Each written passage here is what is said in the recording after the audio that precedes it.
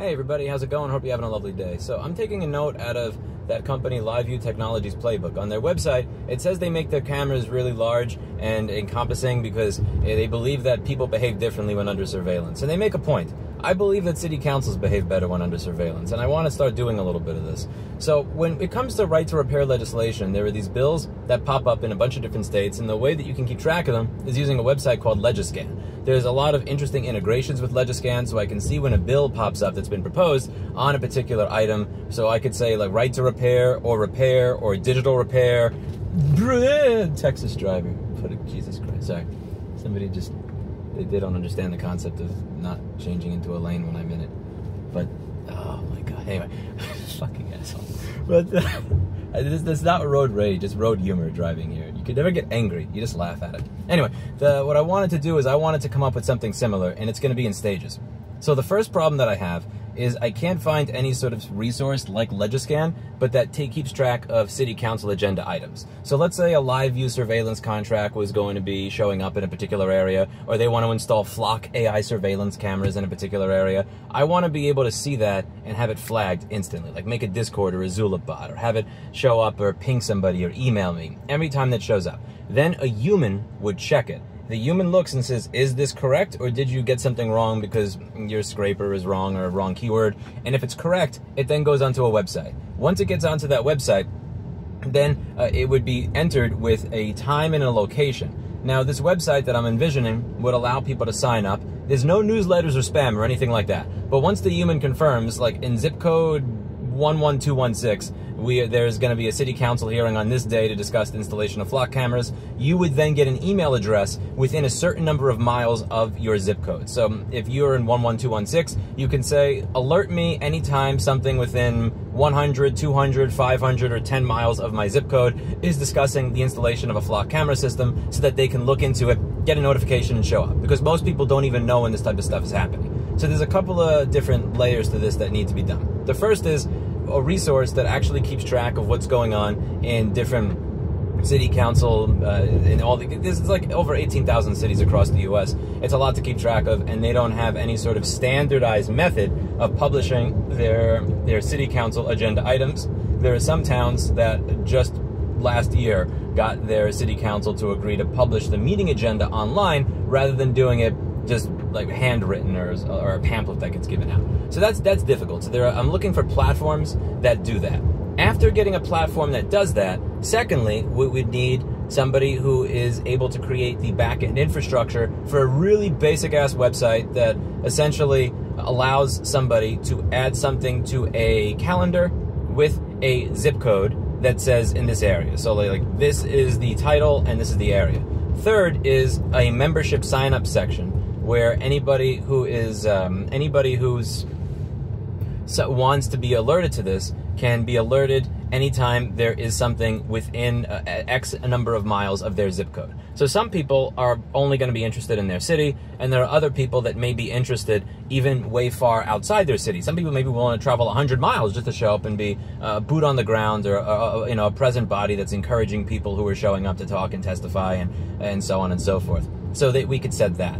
Uh, the hardest part of this is going to be finding something that does that, the Legiscan like aspect. So I found something called Curate Solutions. I haven't heard back from them. I gave them a call and an email. We'll see if I, if they actually hear something from them. I, I was first thing I had a question, and I know I'm doing this wrong. What I'm supposed to do, what I'm what you're supposed to do on the internet is you're supposed to do something wrong and then wait for people to correct you. If I ask the question, hey, what are some things out there similar to Curate Solutions? I'm going to get a lot of well, Louis, I don't know why you're doing. Why don't you just make a scraper? It's like because I'm not a programmer all the time. Why don't you just ask people in that community? It's like because it's 18,000 cities. Why don't you make a list of everybody in every city? Because that's too much fucking work. Why don't you like? Well, why don't you focus on becoming a dentist instead of getting rid of flock? And it's like ah, I could just choke you.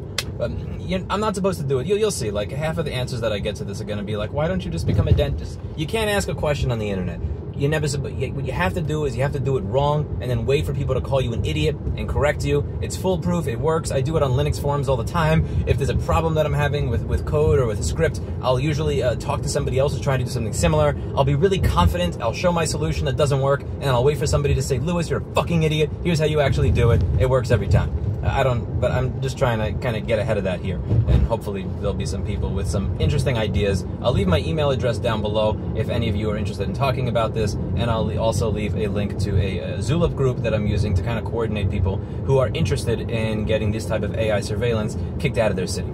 So the project is going to be something like a I need to find a good platform that is similar to Curate Solutions, and I'm willing to pay for this. I, like if it's a few like 10 or 30k a year or some shit like that. Like I am open to paying for something that actually works rather than having to deal with like a bunch of half-ass working scrapers that only scrape like 5% of the America's population. Um, if there's something out there that, that genuinely works, like my, I, I, like this is something I'll. I don't have a nonprofit put together for this particular cause yet, but it's something that I'm open to paying for out of pocket before any of that can get started. Uh, behind door number two, ideas on creating infrastructure. So again, I do not think this is going to be a crazy complicated said the non-programmer that couldn't even get past chapter one of Dennis Ritchie's programming language. I, am basically looking for a calendar. Uh, you put events on the calendar. The curate or that type of solution, there has to be some sort of bot that's going to notify a moderator every time something gets flagged. Something cannot go on the calendar until a moderator approves it, reviews it, sees yes, this is real. It gets on there, and then a way to keep track of a literally I, I, just want a list of emails i don't even want to know these people's name i don't want their phone number just email for notifications so something with smtp relay you know some, some uh, postmark or mailgun or something and uh, that uses that stuff and blasts out an email on any uh, anytime you have a uh, event that showed up that matches the zip code that they're stored with so literally just email zip code uh, if you have any ideas on where to get started or thoughts or ideas, this is literally just brewing around in my head while I'm driving. But I think that this is really important because the, the, number one thing that happens anytime I've discussed these cameras with people is I didn't know they were getting installed. I didn't know this was happening. I didn't know that was happening. And a lot of the times, the people who are really, really in tune with this are professional lobbyists, the 0.1% of the community that are really in tune with and care about the community, and or or the Karens that just you know the, the, people that make the world worse, whose claim to fame in life is they know every fucking uh, procedure around their how, how, their city council and town hall meeting works, like the hall monitors that nobody likes. And I, I, my idea is I don't want the people, I don't just want the hall monitors involved in local government. It would be nice to get a lot of everybody involved in local government. I was really inspired by that that one woman, uh, Mrs. Kaylin Webb, the one that showed up in, in Vidor, Texas, who said, "Yeah, I, I don't like getting ignored by my representatives." uh, I've decided I'm going to run next time because I'm sick of this. And she, she just decided I'm just going to dive right in. This is my issue. I don't want to spend sixty to hundred thousand dollars to get spied on every single time I drive by here. I think that's really cool. Uh, so awareness is really the, the, the first one, and the idea of essentially around the country in over 18,000 cities, every single fucking time that thing shows up, being able to inform people, being able to announce it on YouTube, being able to actually visit and meet people and give them uh, testimony prep and kind of like a nice little, uh, you know, a nice little pep talk before they enter the building and maybe you know have a uh, have a dinner afterwards or something. It, like make it into something fun. Kind of do what we were doing with Right to Repair back in 2014 when I would carry my shitty camera around to uh, all around the country with my you know like bad news bear setup and try to get people involved. I I've this, this is a side project. Like I have the repair nonprofit, which one of them is winding down. I have the the nonprofit for reforming Section 1201 of the DMCA. That is going well. I've got a good executive director. We have a couple of really interesting policy people that applied. I'm liking the the I'm liking how, where things are going there. I'm liking the the track things are taking and it's, it's really starting to, to take shape. You know, Keith is the wiki manager. He's doing amazing. Shout out to, to everybody who's been involved. And uh, I, yeah, but this is this is something that's taking more and more uh, of my interest. I've always been a privacy advocate. I don't like other people trying to watch and control me all the time. It's it's it's like the common thread between all this stuff is when a, you know, a bully tells me this is the way things are. You got to deal with it. That's it. That's the way it is you're we're the only ones that can fix this. You know, shut up, uncertified repairman. What you don't like safety?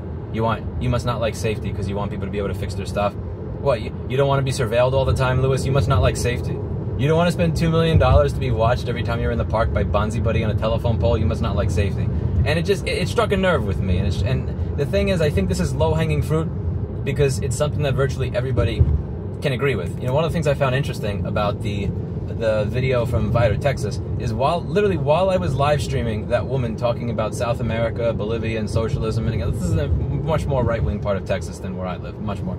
She was talking about how you don't want that here, like socialist governments and surveillance and spying on you, and all this stuff. And what I found interesting, she was a great woman. I, I we had a short conversation after while she was saying all this, I think the Democratic Socialists of America were also hosting a webinar or an in person event, I forget what, going over why these cameras suck, why they're horrible, why they don't want them here. Uh, point being, this is the most bipartisan issue that I could possibly fucking think of, and it's it's popping up essentially everywhere, and it affects literally everybody because if you leave your house, uh, then you're you're likely being spied on by one of these cameras. So I, there's a unique opportunity to get uh, a lot of people involved and a lot of people doing something and to create a lot of change with a really small amount of effort. And I want to start putting that effort forward. So if you can help by answering any of the questions that I had, suggesting um, suggesting architecture types for this type of website, and suggesting alternatives to that Curate Solutions company if you are, are, familiar with any that are good. And again, like I like open source stuff, I like open solutions. I also like things that work, and I'm willing to pay for it. it, it again these the, having like a couple of scrapers that scrape a couple of things and like trying to manage a team of people trying to manage software developers in general is just not something i feel like doing it if there's a solution that just works i'm willing to pay for it and you know, i know that i know that this is a thing because i know that if you're exxon or some ai company that wants to pollute and fuck up the water and all this other shit or if you're a large company that's looking after building regulations in a town. I know that this has to exist. There has to be some sort of solution that people use to try and figure out when something is coming up in a town. This person really does not want to let me make a right, no matter how long I keep it. You know what? We're just gonna play a game of chicken. There you go. If they have a nicer car than me, they'll eventually let me like make my turn. There's this thing in New York City that happens where when you turn on your turn signal, people realize you want to turn and they speed up. And it's very rare that that happens in Austin, but it does happen from time to time. And I don't like that because it kind of creates this culture where people don't use their turn signals. Because if I use my turn signal, now you know I'm going to turn, so you speed up. So I should just not use my turn signal. But then I'm being a piece of shit and making a worse world, and I don't want to do that. So like if I look behind me and it's a 1987 Toyota Corolla missing the front bumper, like eh, whatever, fine. If I look behind me and it's a Mercedes S580, like you know what, you're, you're, you're going to let me in if I start going to the right lane. You care about your car more than I do. But back to this. There has to be something out there for people or in companies that want to be able to immediately jump on any sort of local regulation if they think that it threatens their livelihood or their money or their ability to fuck somebody over somebody has to have made the solution. The only thing is that these solutions are usually uh, they're not things that you're going to find easily through googling. They're things that you're going to find if you're a specific lobbyist that's looking for a specific thing in a specific industry. But those tools that I believe somebody has to have made that have to exist are tools that most likely can be paid for by just about anybody who's willing to pay for it. I don't think that nonprofits or random people that hate surveillance like me are the average client of that type of business. But if those businesses are out there and they do accept the money of anybody who's willing to pay for their access to their service, then I'm open to paying for access to that service to get the ball rolling. I have absolutely jack shit idea uh, what kind of structure I'd want to make for this. If I even want to make another organization for it, I think I'm up to like six now, and there's just yeah, this is, uh, I, am open to just paying for it out of pocket for the time being. So if anybody watching knows about any of that stuff, uh, do give me an email, Louis. Uh, actually, use use the YouTube at rossmanngroup.com email uh, YouTube at rossmanngroup.com, spelled with two S's and two N's. If you don't know if you got it right, just on YouTube, there's usually like an about button or like about creator. You click that, there'll be like an email me button. And I'm making this video while driving just because I have so much shit to do yesterday and today that if I wait till I'm sitting down, I'm probably just never going to make the time for it. Hey, thank you very much for the help, and uh, shut the fuck up, you stupid car, and I'll see you later.